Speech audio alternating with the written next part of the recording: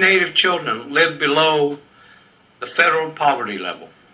On reservations, it's over 44%, with half of those living in what is defined as deep poverty. The nationwide Native youth suicide rate is three times the national rate. Our needs today are profound.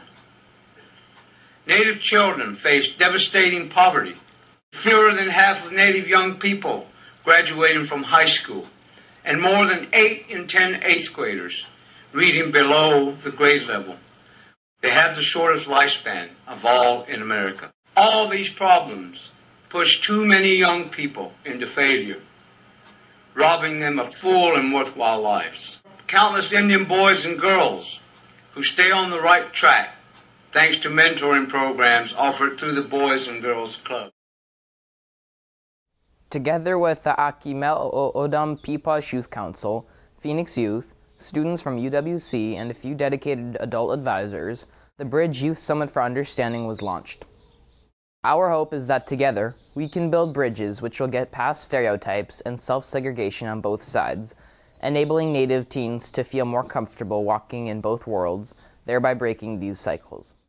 This was an opportunity to uh, basically work with youth groups that are already set up on many of the reservations and create relationships and friendships that might help launch their, themselves into the world in a way that feels supported. Having peers facilitate this process was something that was unique, and, and uh, I wasn't quite sure how it was going to go, but I was very pleased. We saw at the end of two days was an openness and a warmth and uh, a, a beginning of real relationships, and we want to see that continue. The plan is to organize youth driven events to bring together Native and non Native teens. These events are easily replicated throughout the country.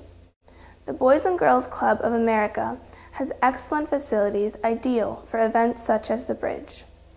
Planning is time consuming, but with a strong group of youth volunteers and adult supervisors, it becomes an easy task.